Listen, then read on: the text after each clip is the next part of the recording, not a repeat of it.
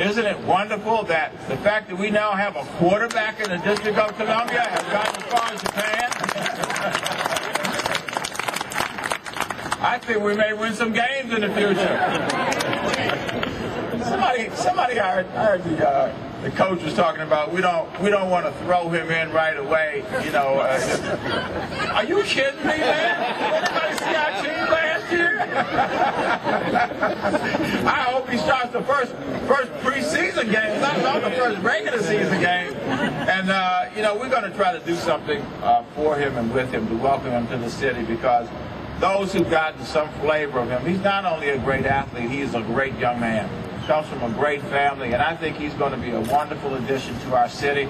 And uh, um, Chairman Askew, President Sessoms, I'd love to get him up to the University of the District of Columbia at some point.